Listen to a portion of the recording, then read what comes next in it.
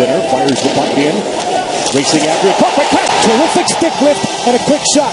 He makes the play defensively here. Stick lift, get the puck, and then bang, snaps it into the net. A good play by Lauri Korpikoski, a guy that they're expecting can do those types of things.